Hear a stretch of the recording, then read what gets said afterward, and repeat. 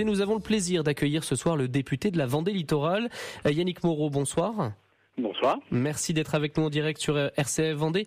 Alors, Yannick Moreau, avec vous, on va euh, aborder euh, différents sujets. Le premier d'entre eux, ça sera forcément la, la, la, présidentielle. Nous parlerons aussi peut-être, si on arrive à avoir un peu de temps, de votre avenir politique ici en, en Vendée, puisque vous l'avez déclaré, vous n'êtes pas candidat pour un second mandat de député sur, sur la Vendée littorale. alors avant ça, je vous fais donc revenir sur, sur ce premier tour de la présidentielle qui a vu pour la première fois de la Ve République les deux partis dominant la vie politique depuis tant d'années euh, disparaître du second tour. Euh, Yannick Moreau, comment avez-vous vécu cette défaite le soir du premier tour? Écoutez, c'était un séisme pour moi. Il faut regarder la réalité en face. C'est euh, un terrible échec. D'abord, ça prouve que le système de la primaire, qui est contraire à l'esprit des institutions de la Ve République, n'est pas un système qui garantit la présence du candidat de la droite et du centre au deuxième tour de la présidentielle. Donc c'est déjà l'échec de la primaire. Ensuite, euh, c'est l'échec de, la droite, qui, comme vous l'avez dit, c'est la première fois depuis euh, la naissance de la cinquième qu'on n'a pas un candidat au second tour d'une élection majeure.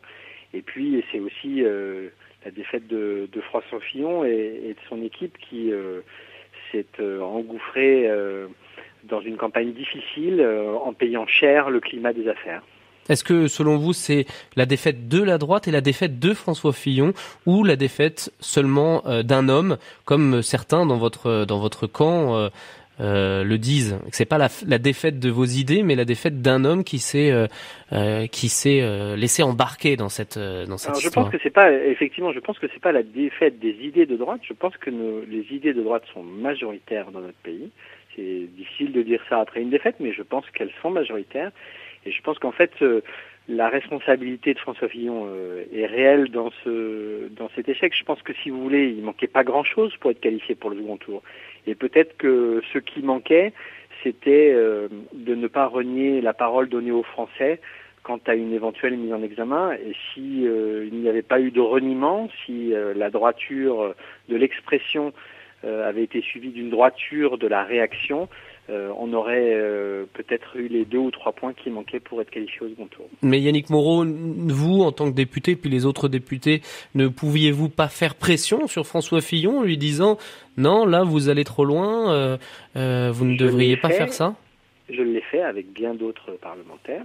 Simplement, au moment où c'est arrivé, il n'y avait pas d'alternative disponible, et donc nous avons pu euh, notre, euh, notre mode d'action et de pression auprès du grand public pour ne pas affaiblir un candidat, puisque si ça devait être le candidat qui allait jusqu'au bout, euh, ça n'aurait pas été logique et loyal de l'affaiblir à ce moment-là. Donc on, on l'a fait, mais discrètement, pas publiquement. Malheureusement, je pense que le résultat montre qu'il y a eu une forme d'aveuglement euh, qui a conduit à, ce petit rien qui fait qu'on n'est pas qualifié. Et donc je pense que le, la responsabilité est assez euh, évidemment euh, forte du côté des médias qui se sont acharnés sur lui. François Fillon a fait preuve d'une réelle combativité à l'égard de, ce système un petit peu médiatico-judiciaire.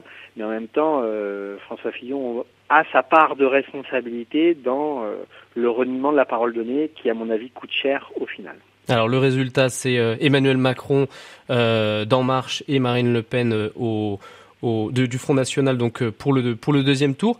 Alors Yannick Moreau, vous avez été vous de ceux et ils ne sont pas si nombreux que ça dans votre camp à dire très vite sur les réseaux sociaux, comme Jean-Frédéric Poisson, président du PCD par exemple, que vous n'appelleriez pas à voter pour Emmanuel Macron, alors que dans votre camp tout le monde appelle à faire barrage au Front National.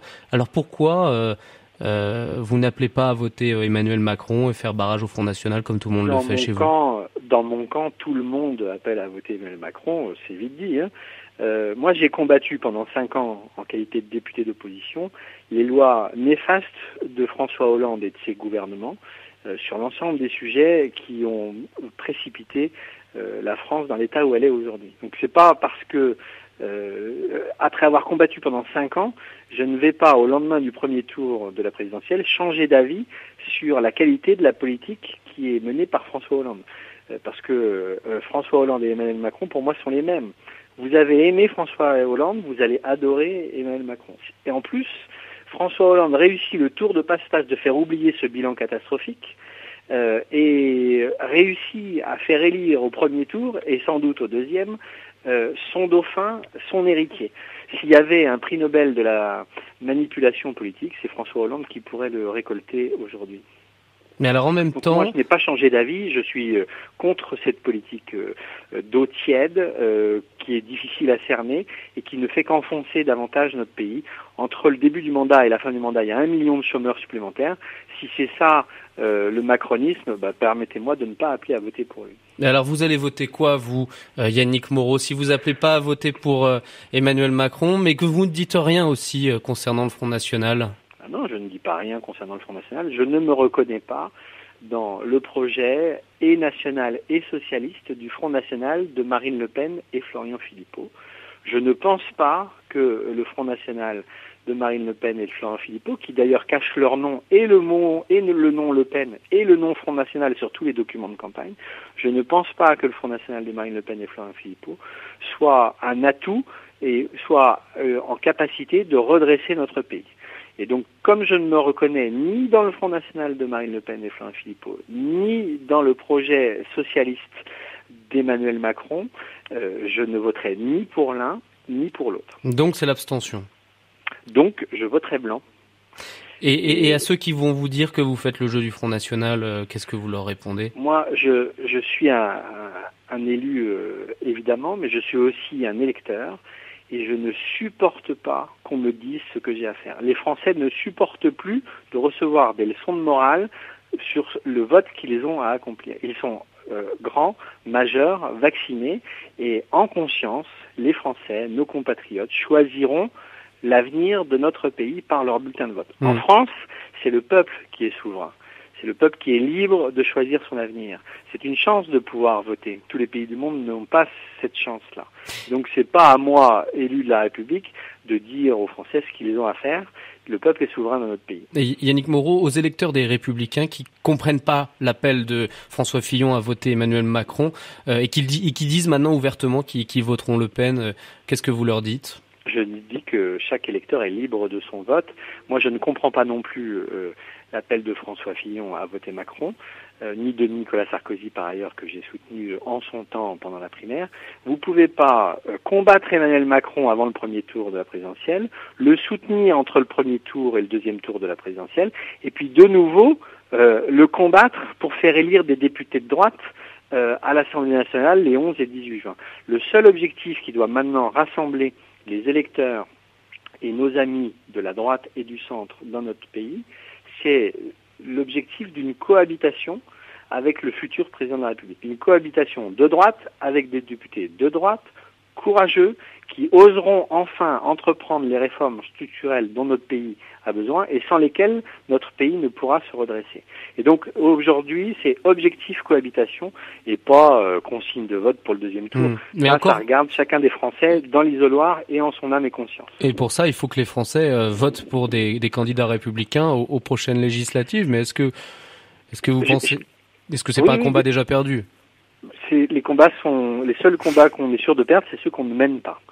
Et donc, euh, il appartient maintenant à la droite de se rassembler, et euh, manifestement, au vu de l'actualité, c'est pas si facile, de se rassembler, de se mobiliser pour faire élire une majorité de droite de gouvernement à l'Assemblée qui sera en situation d'imposer un gouvernement de cohabitation au prochain président de la République et d'avoir enfin le courage de réformer en profondeur notre pays et de le relever. Parce que avec Emmanuel Macron euh, ou euh, Marine Le Pen, je ne vois pas bien les espoirs qui permettraient d'imaginer un redressement national.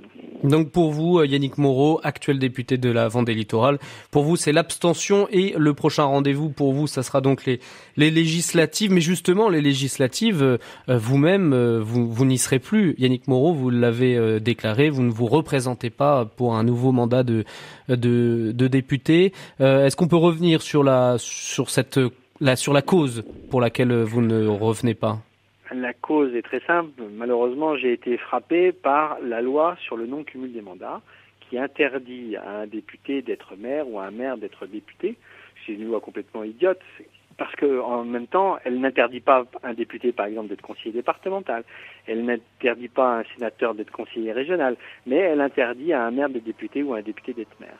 Et cette loi-là, qui va couper les députés de la réalité de la vie de nos concitoyens, parce qu'il n'y a pas de mandat plus proche de la vie des Français que le mandat de maire, cette loi-là va produire des députés hors sol, et moi, euh, va déraciner les députés de leur territoire. Et moi, je ne veux pas être un député déraciné. Et dans le choix cornélien que j'avais à faire entre mon mandat national de représentant de la nation à l'Assemblée nationale et le choix d'être un élu local enraciné qui, depuis dix ans, se bat pour créer une commune nouvelle des Sables d'Olonne, euh, ici au Pays des Olonnes, j'ai choisi de me consacrer pleinement à l'avenir de ma ville, à l'avenir de mon agglomération, hmm. et de d'achever le travail entrepris depuis dix ans. Yannick Moreau, euh, Noël Fauché, le maire de Noirmoutier-en-Lille, conseiller départemental, a lui présenté sa candidature sans avoir l'aval du parti, alors que vous-même vous, l'aviez reçu, mais vous avez déclaré ensuite que vous ne seriez pas euh, candidat. Euh, il a déclaré dans la presse le job n'a pas été fait, je prends mes responsabilités. voilà, est-ce qu'il y a de l'eau dans le gaz entre vous deux Oh, vous savez, c'est pas nouveau. Euh, le problème, c'est que Noël Fauché est dans un esprit de revanche parce que euh, il était candidat en 2012 et il n'a pas gagné. Alors, il est dans un esprit de revanche et évidemment, puisqu'il se présentait contre le député de sa famille politique, il fallait qu'il trouve des arguments euh, un peu fallacieux pour justifier sa candidature et son entrée en dissidence, c'est-à-dire le fait d'oser diviser sa famille politique. Il fallait évidemment taper sur le député sortant. Moi, mon problème euh, personnel avec Noël Fauché n'intéresse personne. ma seule crainte, c'est que cette candidature du maire de Noirmoutier ne garantisse pas le succès de notre famille politique dans la circonscription de la Vendée littorale parce que structurellement, le maire de Noirmoutier a une assise électorale qui est très faible. Le bassin de population de Noirmoutier et du nord-ouest vendéen est le troisième bassin de population de la circonscription. le plus gros bassin, c'est celui des Sables d'Olonne, c'est celui de Saint-Gilles-Croix-de-Vie.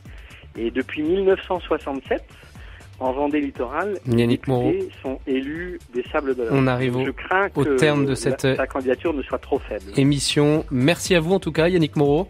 Merci. Merci beaucoup. Je rappelle que vous êtes actuel député de la Vendée Littorale. Merci à tous de nous avoir suivis. Je vous souhaite une excellente soirée à l'écoute des programmes de RCF.